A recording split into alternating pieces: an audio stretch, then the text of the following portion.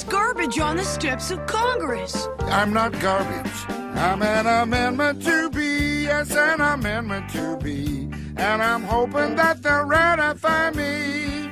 There's a lot of flag burners who have got too much freedom. I wanna make it legal for policemen to beat them, cause there's limits to our liberties. At least I hope and pray that there are, cause those liberal freaks why can't we just make a law against flag burning? Because that law would be unconstitutional. But if we change the Constitution, Then we could make all sorts of crazy laws. now you're catching on. What the hell is this? It's one of those campy 70s throwbacks that appeals to Generation Xers. We need another Vietnam to thin out their ranks a little. What if people say you're not good enough to be in the Constitution? Then I'll crush all opposition to me, and I'll make Ted Kennedy pay.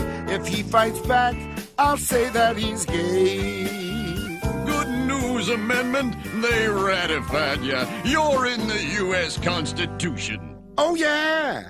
Doors open, boys!